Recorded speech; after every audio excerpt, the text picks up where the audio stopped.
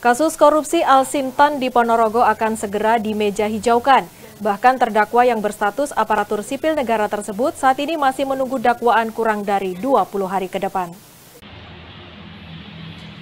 Kejaksaan Negeri Ponorogo menyatakan berkas perkara kasus korupsi pengadaan alat mesin pertanian atau Al-Sintan di Dinas Pertanian, Peternakan, dan Ketahanan Pangan atau Dispertahankan Kabupaten Ponorogo segera dimeja hijaukan. Kurang dari 20 hari ke depan, terdakwa atas nama Mardan yang sebelumnya berstatus aparatur sipil negara di dinas terkait bakal mulai disidangkan apabila berkas perkara beres. Avandi, kasih intel Kejari Ponorogo mengatakan, saat ini sudah beralih ke area penuntutan dari sebelumnya di area penyidikan. Pihaknya juga menyiapkan surat tuntutan guna memformulasikan agar tidak diesepsi oleh terdakwa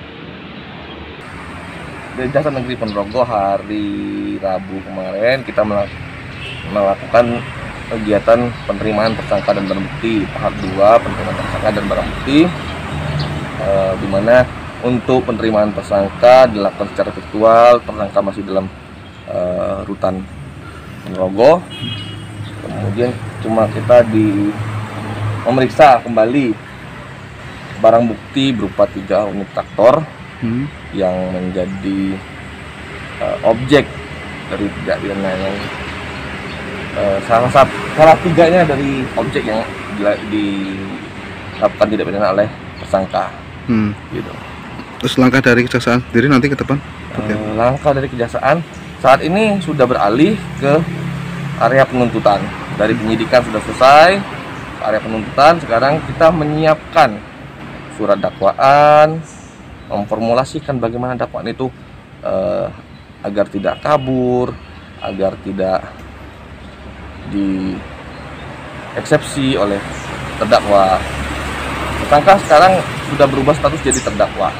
Hmm. Uh, Ini uh, baru satu terdakwa pak ya? Saat ini kita kalau penyidikan dari Polres hanya satu terdakwa ini. Hmm. Diketahui terdakwa diduga melakukan korupsi yang bersumber dana APBN tahun anggaran 2018 dan bantuan hibah alat dan mesin pertanian dari Provinsi Jawa Timur. Namun oleh terdakwa, bantuan hibah alat dan mesin pertanian sebagian disalurkan kepada kelompok tani fiktif. Selain itu, juga terdapat dua alsintan berupa traktor roda empat yang dijual ke pihak ketiga.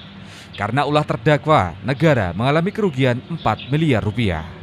Ega Patria, JTV, Ponorogo.